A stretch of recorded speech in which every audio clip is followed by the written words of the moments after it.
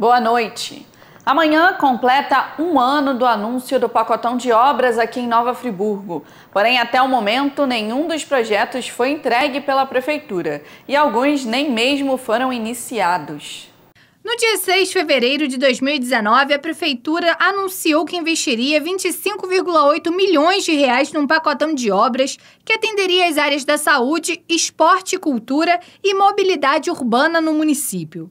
Segundo o executivo, o valor investido nos projetos vem da venda das ações da concessionária Energisa. A princípio, esse dinheiro seria investido na compra do prédio da antiga fábrica Ipu. Porém, a prefeitura desistiu e destinou os recursos para reparos e novos projetos pela cidade. Entre as obras anunciadas no pacotão está a ciclovia, que foi adaptada para via compartilhada. Nela foram investidos 999 mil reais para a pintura da faixa exclusiva aos ciclistas, nivelamento das calçadas e colocação de grades de segurança, além de bicicletários ao longo do trecho. A primeira data prevista para a entrega do projeto foi o dia 11 de novembro. Porém, o prazo foi ampliado em mais 90 dias, já que as intervenções ainda não haviam sido concluídas. Outro projeto do pacotão foi a cobertura da Estação Livre. Para as obras foram destinados R$ 1.032.184,16. As obras tinham como prazo final o dia 9 de dezembro, mas como nos cinco meses nem o primeiro lado havia sido entregue, a Prefeitura prorrogou no Diário Oficial do dia 31 de janeiro a conclusão das obras por mais 90 dias, já que o lado norte da antiga rodoviária só será entregue nesta sexta-feira, tendo ainda que ser iniciada as obras do lado sul. 4 milhões de reais também foram investidos para as obras no segundo e terceiro pavimentos do Hospital Municipal Raul Sertã, que haviam sido paralisadas por falta de recursos.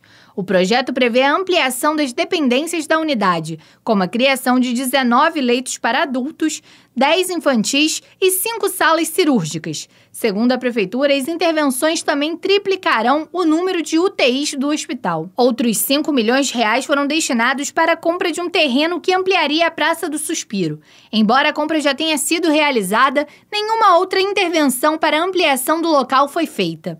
Ainda segundo o projeto, para a Praça Getúlio Vargas, outros 4 milhões de reais seriam investidos para a restauração do conjunto arquitetônico e paisagístico do local, que é patrimônio histórico e artístico nacional. Para este, há um prazo até novembro desse ano para que o termo de conclusão das obras de execução do projeto seja apresentado. O pacotão previa também uma nova praça em Olaria, que seria construída no antigo pátio de estacionamento da Esmomo, com um valor estimado de 861 mil reais.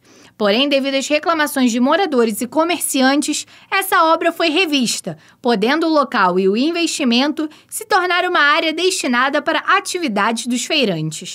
Reformas em quadras poliesportivas também entraram no pacotão de obras. De acordo com o governo, sete locais seriam atendidos, Porém, até o momento, nenhum deles foi contemplado com as intervenções. Um trecho da Avenida Brasil também foi apresentado no projeto, mas ao longo desse um ano, nenhuma novidade surgiu sobre o local. Tentamos uma entrevista com o secretário de Obras para falar sobre o pacotão de obras, porém a Subsecretaria de Comunicação informou que por enquanto não iriam se pronunciar sobre o assunto. Informaram ainda que nesta semana passarão uma agenda para tratar sobre esse assunto.